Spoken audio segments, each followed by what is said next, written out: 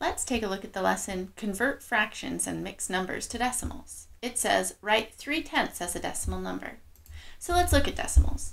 If we have a decimal point, all digits on the left of the decimal point will be our whole numbers, and the digits on the right side will be our numbers that are less than 1.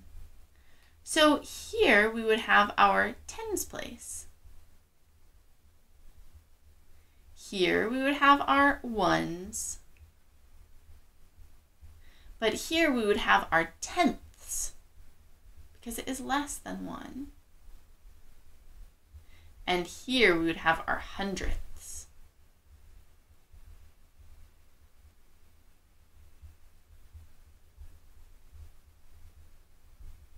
All right. So if I write a number like 28 and 7 tenths. I say the digit and then I say its place.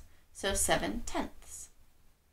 Or if I'm going into hundredths, maybe I have 73. So I would say 28 and 73 hundredths because it ends here in the hundredths place. So let's look at this digit. Write 3 tenths as a decimal number. Well, we don't have a whole number in this, so we would do our decimal point. There would be nothing over on this side because there are no whole numbers there. We would have our point, our decimal point, and then we would have 3 tenths. Well, I know my tenths place is this first one here, so I'd put a 3 there. So that is 3 tenths. All right, so that is our answer, 0.3. Now here they say write one one hundredth as a decimal. Well, I know here I have my decimal point. This would be my tenths. This would be my hundredths.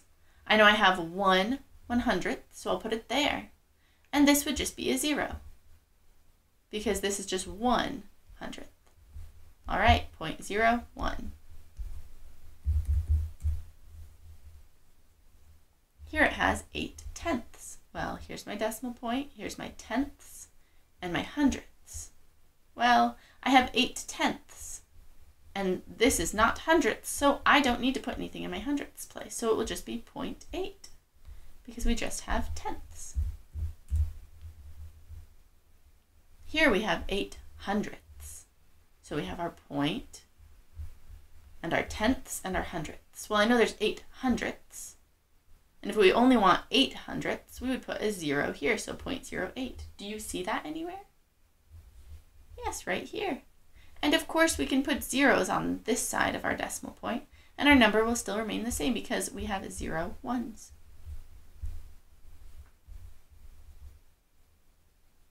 Write 8 tenths as a decimal number. Well, here's my decimal, here's my tenths and my hundredths. I would put an 8 in the tenths, and I don't need anything in the hundredths because they're just asking about tenths.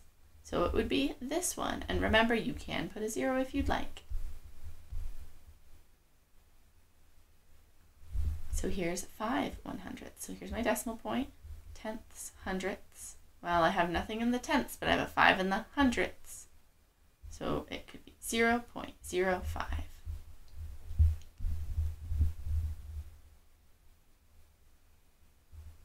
Oh, now we have more to solve. So we need to solve this first and then put it over 10 and then we'll write it as a decimal number. So I know 7 times 10 is 70. And then we add 7 more. So that would be 77 and then we have over 10. So that is 77 tenths. Ah, okay, so if we have 77 tenths, let's see, here's our decimal point, and then we have tenths. Well, as soon as we have 10 tenths, that's one whole. So 70 tenths is seven whole. And then we would just have seven tenths left over.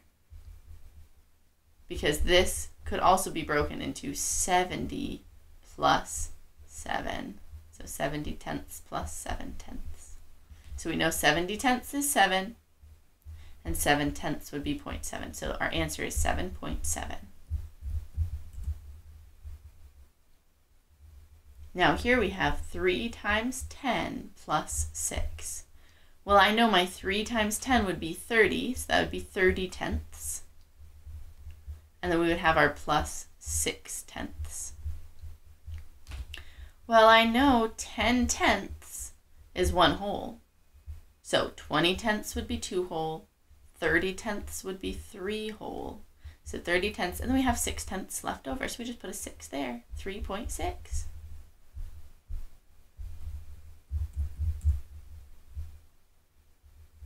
Now here we have 9 times 100 plus 9.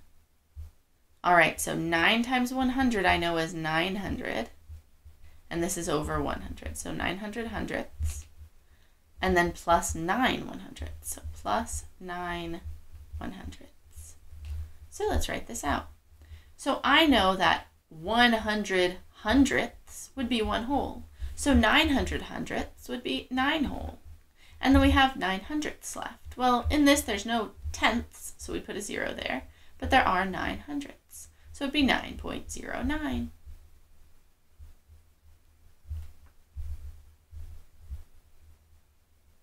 Here they show 6 times 10 plus 4 over 10. Well, I know 6 times 10 is 60. We can leave that over 10. And then plus 4 over 10. So I know 60 tenths would be 6 whole, and then we'd have 4 tenths left over, so 6.4. Here it is.